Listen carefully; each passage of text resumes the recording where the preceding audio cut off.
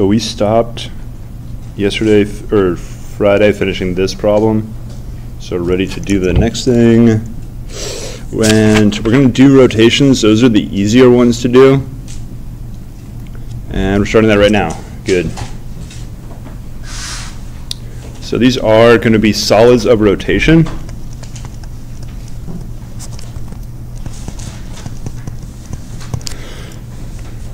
So what that means, we're going to take a shape, we're going to revolve it, and it's going to revolve into a solid. So what type of shape? It's going to be a two-dimensional region that will revolve into a three-dimensional shape. So one example, here's an axis that we're going to revolve around. Now I'm going to just draw a curve above it, and then we're going to think about what does this curve revolve into if I revolve it around.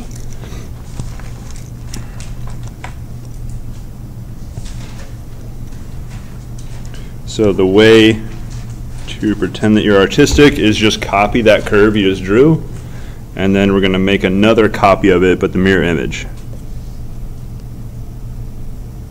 That's usually the harder part. Just do your best. And now we're going to try to make it look like it was actually revolved. So in a similar way that you drew your cone, I'm going to do something very similar right here.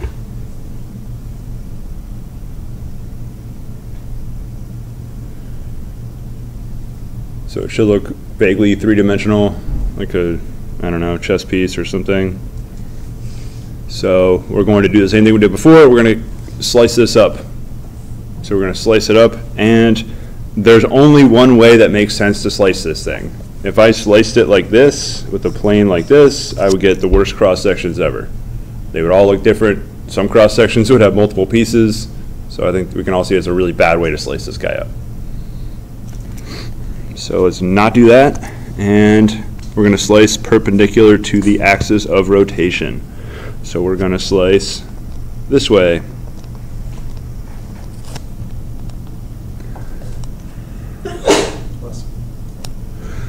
So we make a slice. Draw your best slice you can right there. Good news is the shape of a slice is super nice. Oh, I had my dotted on the wrong side.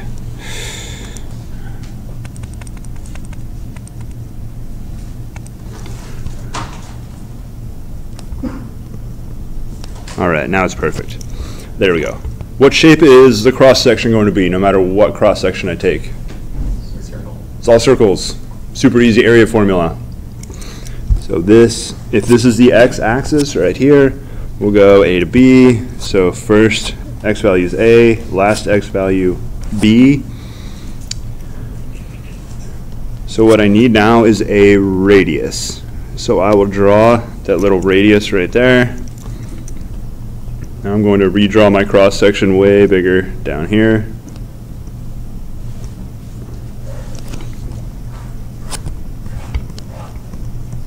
So what I need is radius, and it depends on what x value that I'm using at that moment. So I need a function r of x, and our volume is pretty easy to write down.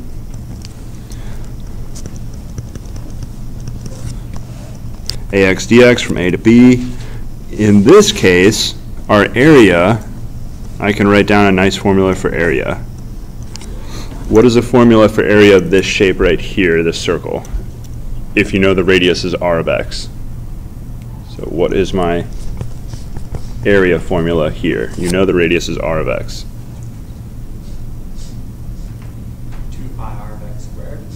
That'd be circumference, which we will be doing at some point. Wait, two, yeah, just pi r squared. Yeah. Was that too easy of a question? I felt like it was the wrong answer. Now, radius is not a constant number, it's r of x, a function of x. So you just got to square that function, multiply by pi. So we get pi r of x squared dx. So this is a rotation, a solid of rotation. Of course, pi is a constant, so you could bring pi out front of your integral. So we got pi, a to b,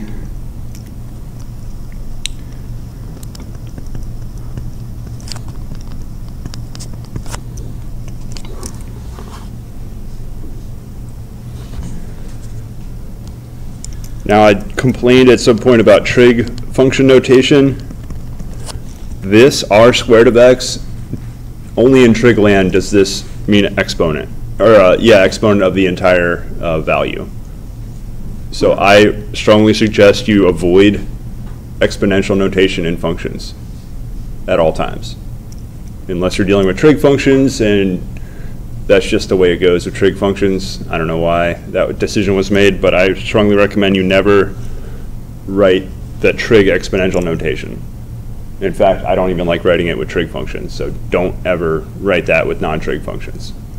What it really would mean is r of r of x. That's actually what it would mean.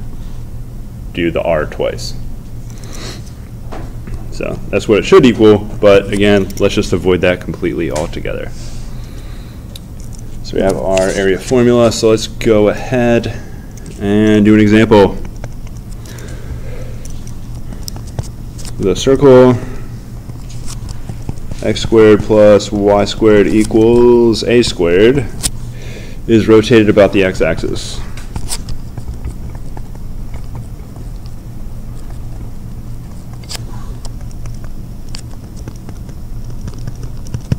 Find the volume.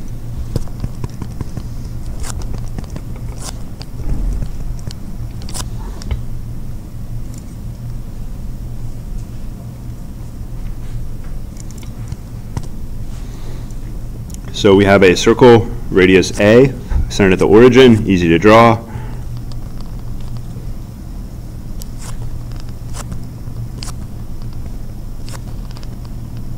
So there's my circle. Rotate about the x-axis. We're going to rotate that way right there. What shape will we get when we rotate this? Sphere.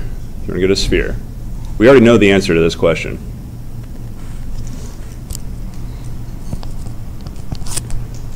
Who remembers volume of a sphere? It's got pi in it. It's a volume, so it's going to be three-dimensional, or three linear measurements multiplied together. Now for the way to impress us. Anybody know the constant? Four through four. Four thirds. Now most, uh, anything that has a circle in it is going to have some pi. And generally when uh, cones and spheres both have thirds in them, I think a cone is one third and sphere is four thirds. All right, so what is our radius here?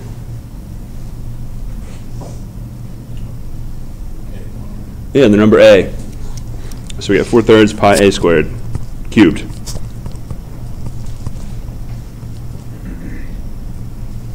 All right, that's the answer we are hoping to work for.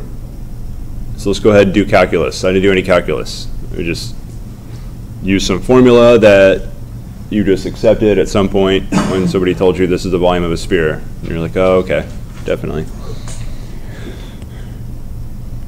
So how do I get a, I, first I need to draw a three-dimensional volume, and then I'm going to slice it. So let's go ahead and draw three-dimensional. How in the world do you draw a three-dimensional sphere? Very carefully.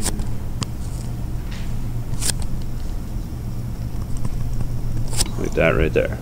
Easy to do. Circle with a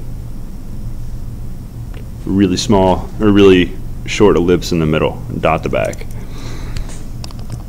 So I could put a center in here. Uh, what I really want to do is look at a cross section though. So rotating about the x-axis on this problem, I could have rotated about the y-axis, but I'm going to pay attention on which axis I rotated around.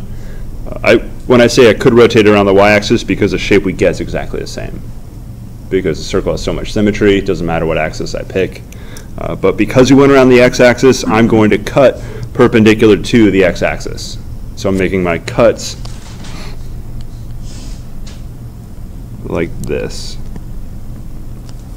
So that is the slice I'm going to make. And every solid of rotation, your slices, if you cut it right, it's going to be a circle. So it should always get circles if they started with the volume of rotation. So I need right here a radius. So I'm doing my best to label r of x, that vertical line I just put right there, that's R of X. So if I go back to the two-dimensional version, let me label R of X right here. That vertical line is R of X.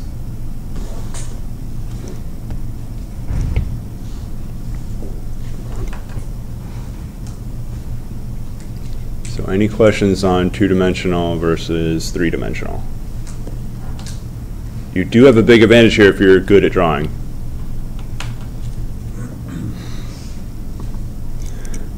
How do I figure out the formula for R of X?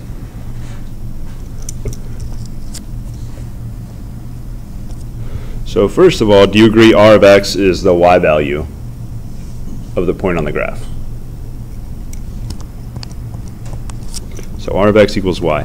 How do I relate X and Y together? What is the equation for the circle here?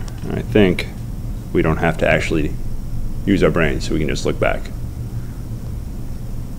All right, so I know how x and y are related on the circle. x squared plus y squared equals a squared. How do I figure out y? Just solve for it. Subtract x squared, square root. That's all there is to it. y equals square root a squared minus x squared. So now we know our, uh, how to write y in terms of x, and this is r of x.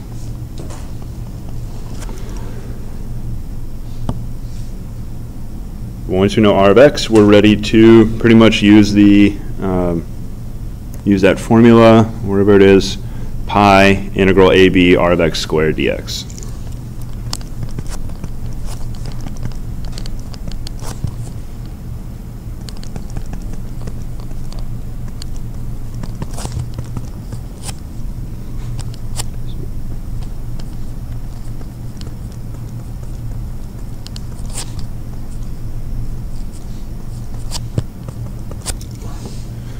Good news is squared cancels square root.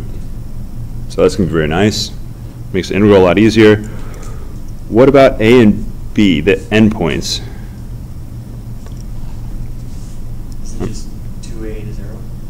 It'll be, well, to be careful, if we look over here, I can go from negative a to regular a. I'm using a for two different things, but a, we go from negative a to regular a, right there. So negative a is our start, regular A, positive A is the end.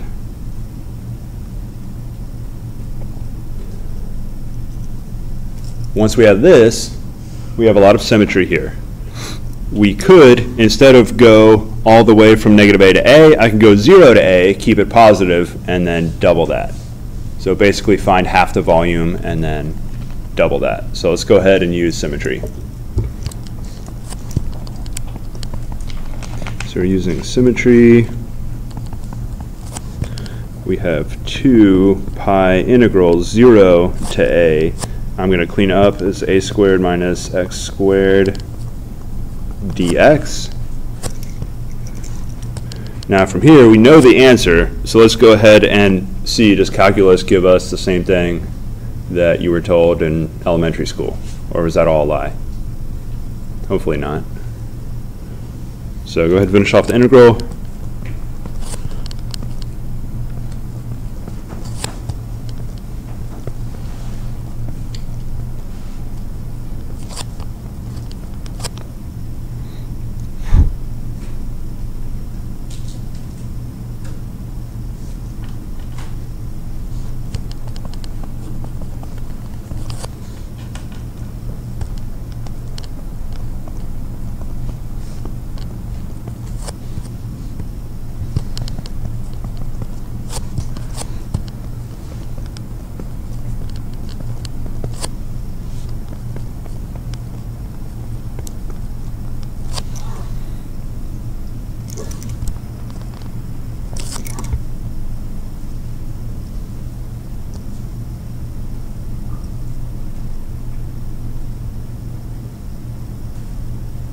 4 thirds pi cubed. Anybody know formula for surface area of a sphere?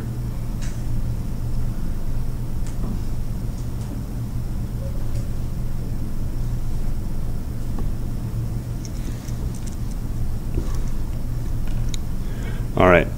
You can relate surface area to volume using calculus, which you'll learn in Calc 3 or 4. I think Calc 4. Nobody knows surface area for a sphere? Is that what you're looking up?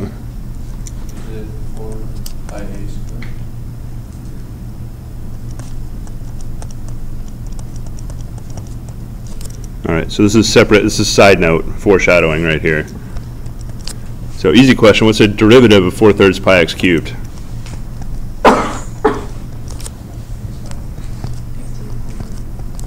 It's 4 pi x squared. What's our service area? Oh, yeah. This is also the service area right here.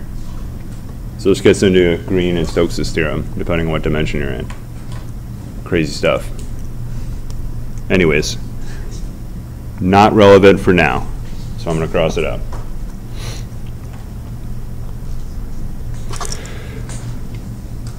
So now we're going to look at, uh, well, do one more example problem, then we'll look at hollow, how to deal with a hollow interior. So this example, we're going to get the, you're going to see me write region bounded by so many times. I'm going to use RBB for region bounded by.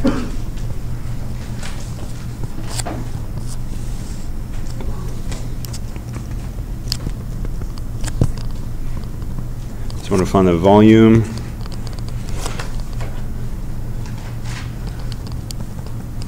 of the solid generated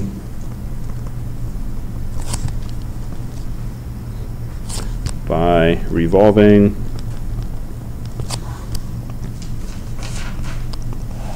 region bounded by y equals square root x, y equals 1, and x equals 4. About the line y equals 1.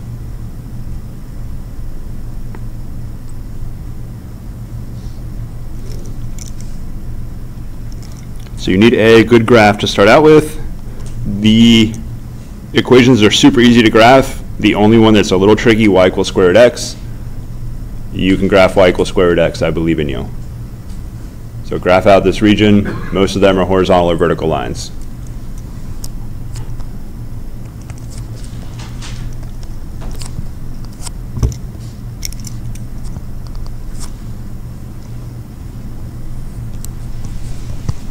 Start you out with y equals 1 graph right there.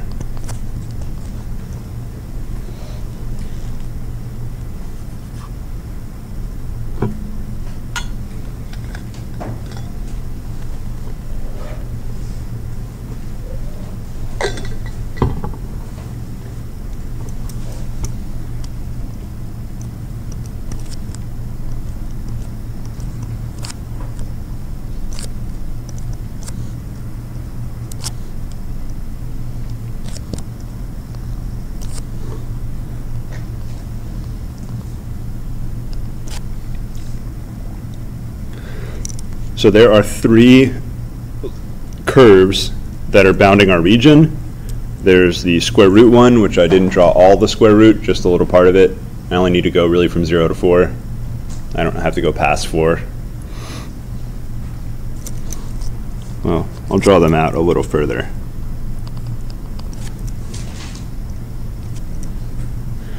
So this, what we just did, splits up the region into a lot of pieces but only one piece is actually bounded. And it's sort of the obvious piece right in the middle. What do I mean by there's other pieces? There's a huge piece right up here that I'm not using, that squiggle part. There's another piece down here in the lower right. I'm not using these infinitely large pieces. So there's only one piece actually bounded. And that's that sort of wedge-shaped piece right there, probably the one you were thinking about already. We're doing something weird, we're rotating about y equals 1. So I'm drawing my rotation arrow right there on the y equals 1 line. So what does our, uh, our volume look like?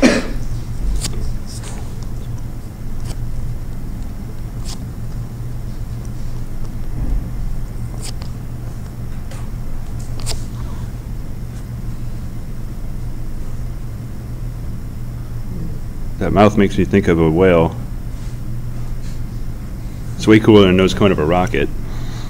All right, so there's our volume right there. Let's cut it up. There's only one way to cut it. You got to go perpendicular to your axis. So you don't have a choice. Cross sections are going to look like that. So again, all these cross sections better be circles. So every single cross section is going to be a circle. And what I need is a radius. So I'm going to draw my radius here.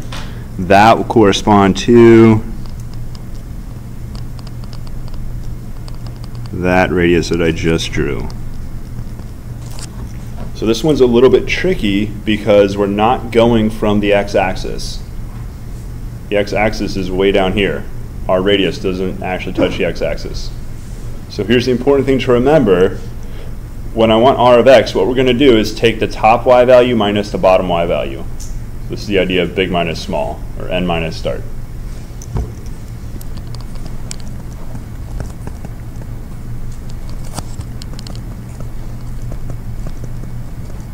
So we're going to use this again and again, either big minus small, n minus start. Uh, we did this with vectors where you went to the end point, subtract the starting point. So this should be very familiar. We've done this a whole lot already. So r of x is going to be the big. So you have to think, is this the big X or the big Y? Now if I look at this right here, X is the same. So it's not the big X or the small x, it's the big Y value, small y value. So I'm going to write it as big Y minus small y. So what is the big Y?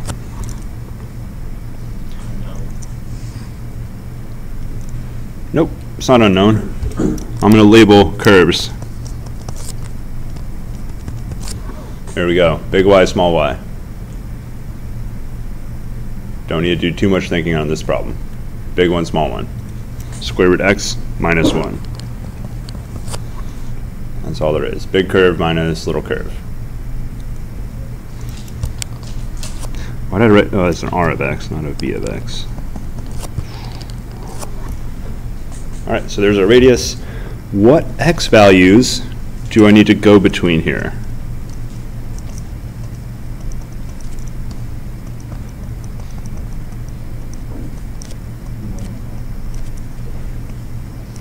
What x values do I go between? Yep, 1 and 4. Not 0, because we're really starting where these two curves intersected right there. So 1 to 4.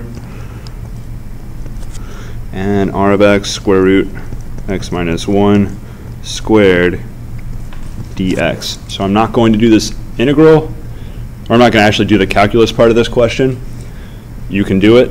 What do you need to do to actually uh, get the uh, antiderivative.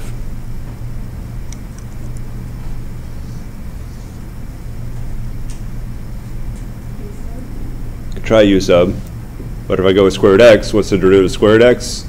Something like negative 1 over square root x. There's like a half in there, something like that, but it's going to be some square root of x that I can't cancel out. So u sub won't work. It's not quite trig substitution.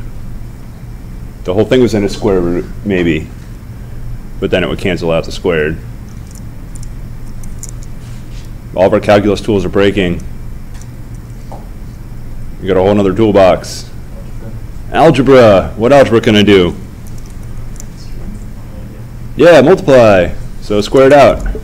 So squared x squared is x minus 2 square root x plus 1 dx from 1 to 4. You can definitely do this antiderivative. You just add 1 to every single power that you see. Square root x x to the half power. So you can integrate this for sure. Oop, pi disappeared. Okay. So what about if we rotated about a vertical line or the y-axis?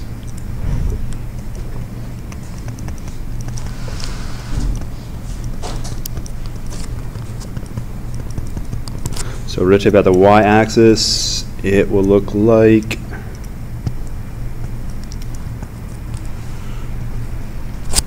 right there. And we're going to go, let's say we have some shape Try to redraw that shape. Oh, that's not great. So we have this shape right here, and when we take slices, we're going to go parallel to the rotation axis, so we're going to do horizontal slices. So that's how our slice will look right there. And our volume, we need some A and B values, some start and end. We go A to B. These are now Y values. So we're going to have pi integral A to B R of Y squared dy. Basically, where x was is now y. Now, I don't usually write these on integrals, but your a and b, your endpoints, are actually y values in this case. They always match whatever your dy, they're going to be y values. If I scroll back up, when I had dx, they were x values. So I don't usually write that in there, but definitely keep aware of that. You're not going to see that written in very frequently when you look around. So those are always going to be whatever variable your antiderivative is with respect to, those are that same variable.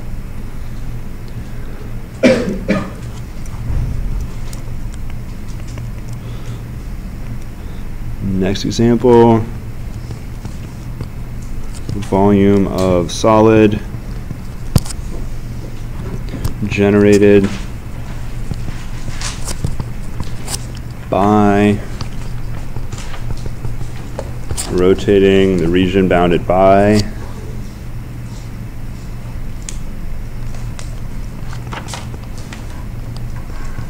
x equals y squared plus 1 and x equals 3.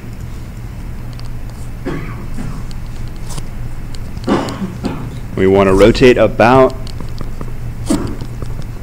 the line x equals 3.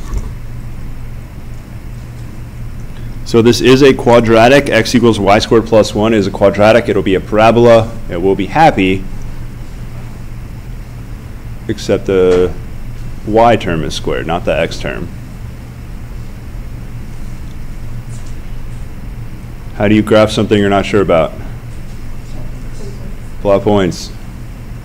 So a bad move would be to go ask Desmos or your calculator. What does this look like? So we're going to do instead is plot points. All right, clueless method, here we go. So parabola, it will be a parabola. It will open in the positive direction. What is a, let's see, what is an easy, what is the smallest x value I can get? Let's start there. Can I actually get zero? Smallest I get is 1. So what point does that correspond to? So x is 1, y has to be 0. Yeah, x is 1, y is 0. So we got 1, 0. All right, I can get bigger x values. How do I get uh, 2? How do I get x to be 2?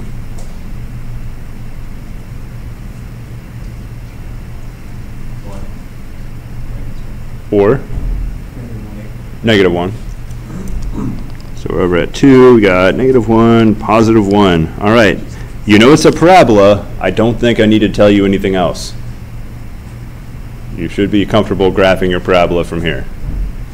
So graph your parabola out, and then graph the x equals 3, and then I should have drawn this way bigger.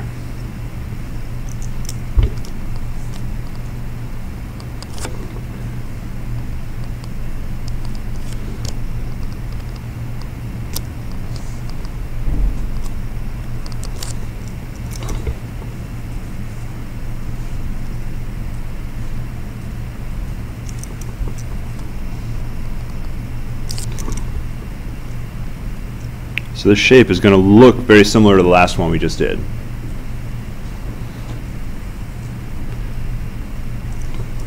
So we rotate this, we're going to get, actually it won't look that similar. This will be more like a UFO shape.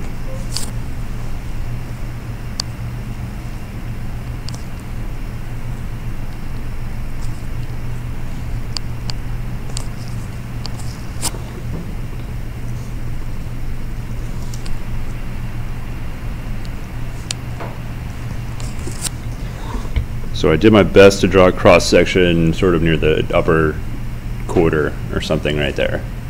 So I tried to draw my cross-section up near the top there.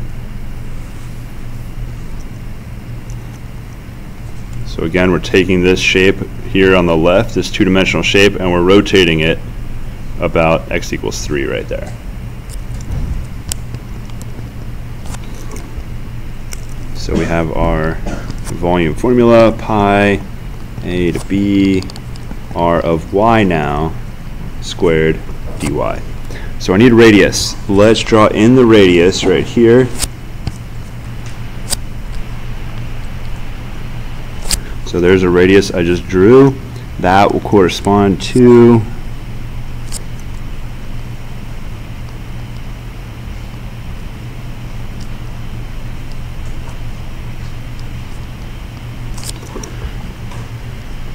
that part right there on the graph.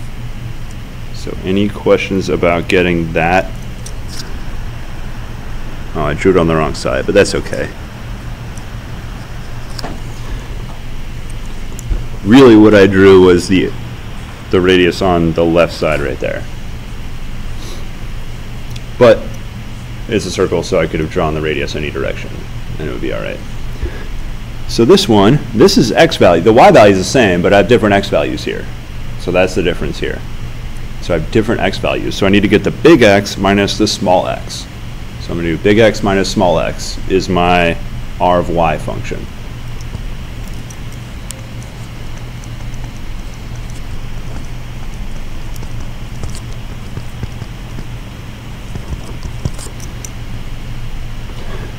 Now you should be thinking, ah, we're looking for a function of y, but he's talking about x's. Yes. When I say big X minus small x, I'm not actually saying, uh, we're not going to actually use the letter x. What we're going to do is think about what is the big X value, or the big X expression. So in this case, what is the biggest x I could get? Uh, uh, it actually doesn't matter what the what y value we're at. What is the big X? It's always 3. Now small is on a curve. So small is definitely going to change. So what is the small x value? And if I scroll up a tiny bit, I'll label this. This is x equals y squared plus 1. So what is the big X now? Or small x? y squared plus 1.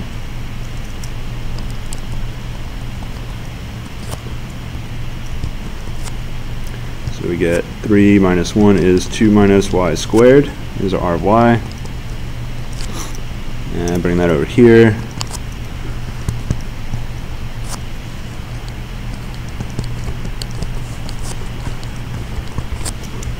And just have to figure out A and B. Are A and B x values or y values? They're y. We're doing a y integral, dy integral, so everything is in y's. So endpoints, looking at this, we need to go, oh, how do I figure out y values? I'll draw them on the axis, the y-axis right here. How in the world do I get those? So we need to intersect the line and the curve. So how do I do that? The curve x equals y squared plus 1, the line x equals 3. So I want to solve a system of two equations, two unknowns. Good news is one equation is super easy. It's pretty much already solved. So I just need to solve, use that and solve the other one. So I want to intersect y equals x squared plus 1.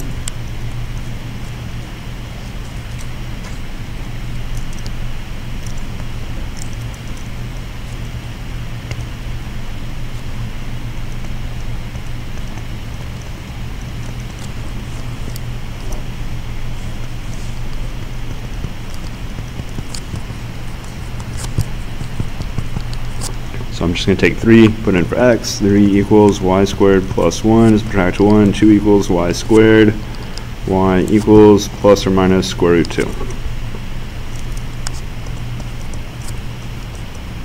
So those are the big and small y's. Can I use symmetry here? upper half same as the lower half. So I can go zero. I recommend you always just go with the positive one if, if it's a choice between positive and negative. So we're going to go 2 pi from 0 to square root 2.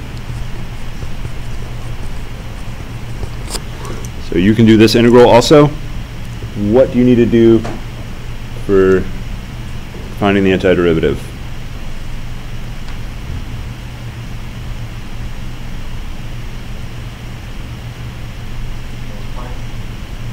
Yeah, algebra. So you can try u sub, but because we got a y squared, it's not like a y hanging around somewhere, it's going to cancel it out. So it's not going to be a good candidate for u substitution.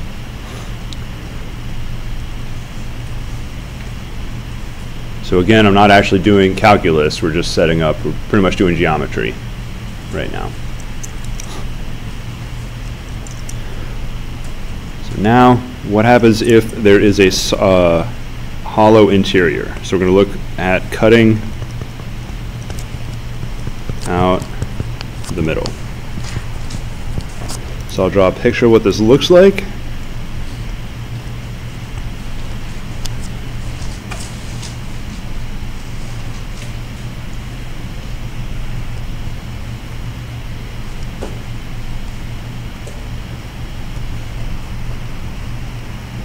Now, they don't actually have to intersect at points.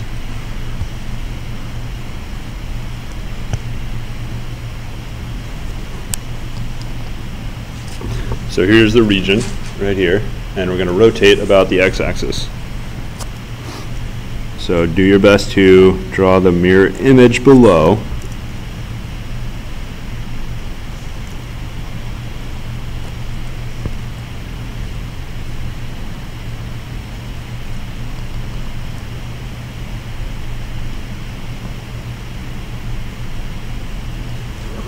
And then we're going to try to rotate it. What in the world is this going to look like?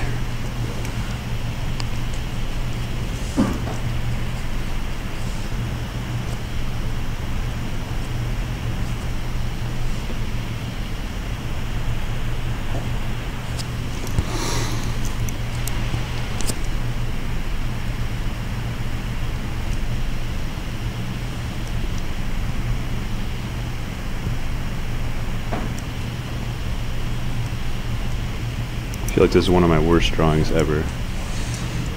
That's not good at all. I am having technical difficulties.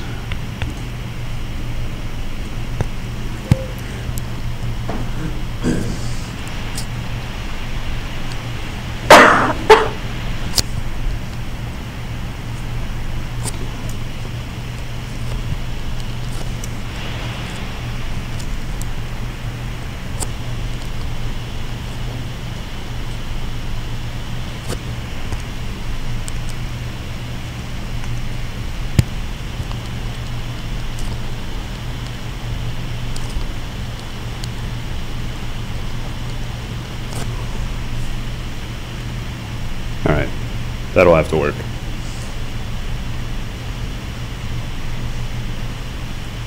So this is a hollow, I don't even know what kind of shape this is, but some type of hollow shape.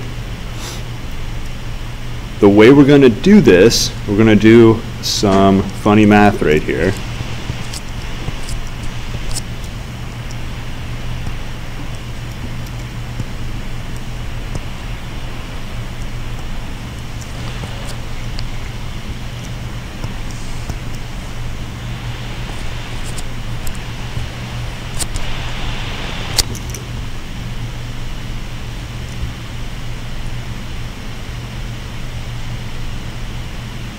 Do you understand what I mean by this equation here? It's actually an equation with shapes. It's more fun that way. All right, so what am I saying?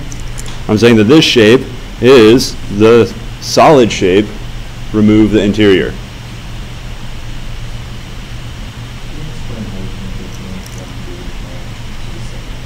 Yep.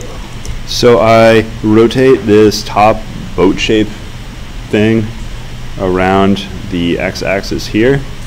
So I just think about this shape that'll be formed there.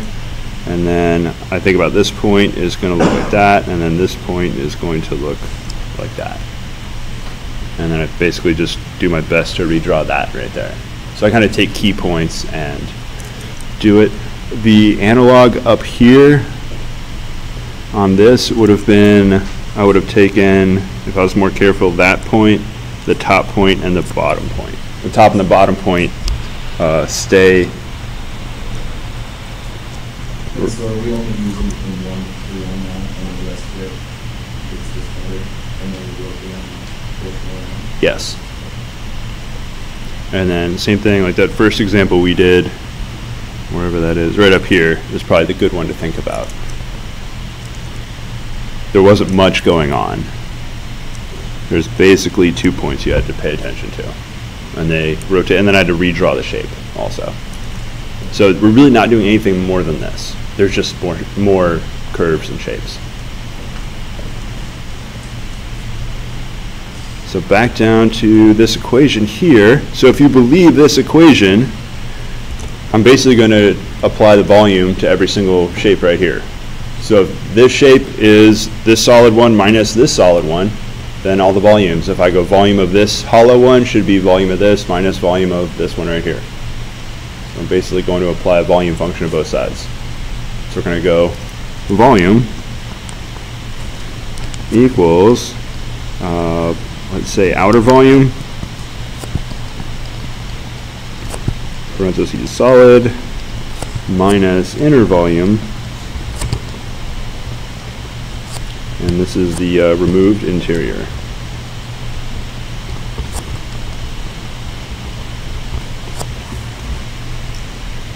So this idea is how we're going, or this is the idea we're going to use to get the volume of hollow objects.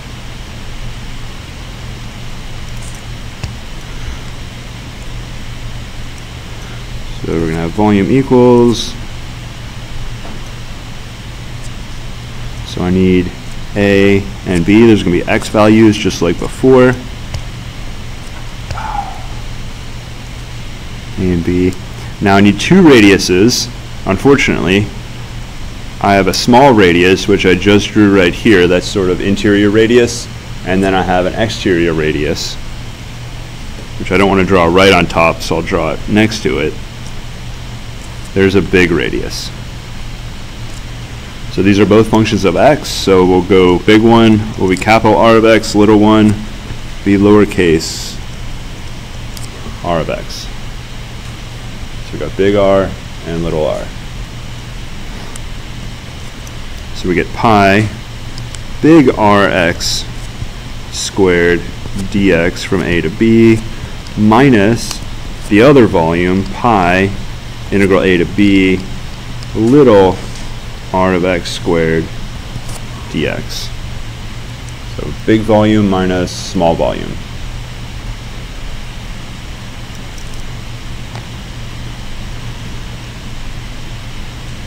Now, what integral property could I use to combine these into one? I could actually combine these together. Going from A to B, both dx. So I can write this whole thing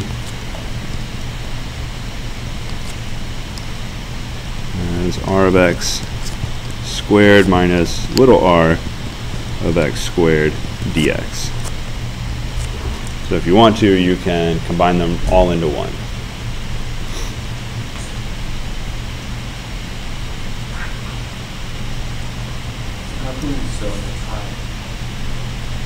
Uh, the pi is just a multiplier outside, so that the intermediate step would look like you probably want to factor the pi out. Integral. That would be like the intermediate step right there. And then you combine it together. So big R squared minus little r squared in one integral. This is the sum difference rule for integrals, basically. All right, so we'll do an example, and then we're going to go on to the next type of volume.